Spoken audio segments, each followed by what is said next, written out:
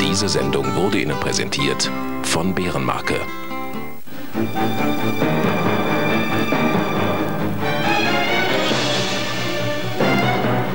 Ah.